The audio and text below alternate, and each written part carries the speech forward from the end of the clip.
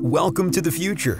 Good news, it has everything you ever dreamed. And the banking here is just as advanced as everything else. Maybe you're out for a jog and see something you want.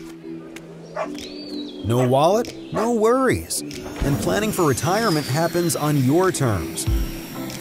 Or perhaps you're buying your first house. You can finalize that mortgage wherever, whenever. Yes, the future is looking great. Don't you wish you were here? The good news is all this banking technology is available right here, right now. We may be waiting for jetpacks and flying cars, but together we can build the bank of the future today.